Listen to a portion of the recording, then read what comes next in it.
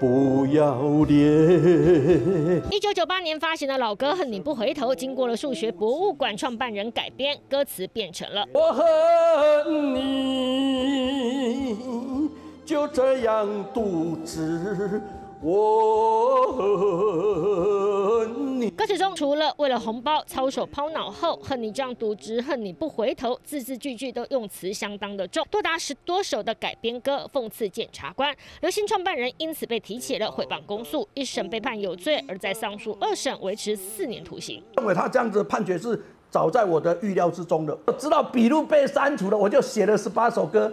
那因为打官司就很忙啊。数学博物馆创办人刘清田面对了采访，强调自己坦荡，秀出自己收集的证据。原来他在一百零九年的时候起诉一名诚信男子被性侵占，不起诉被驳回。而隔年刘清田被指控在网络上散布陈南贿赂检察官的文字，甚至更进一步改编歌曲填歌词，指检察官收红包官商勾结，被提起公诉。自叙述哈不一定啊，在客观上会呃足以贬损当事人的一个人格或社会评价。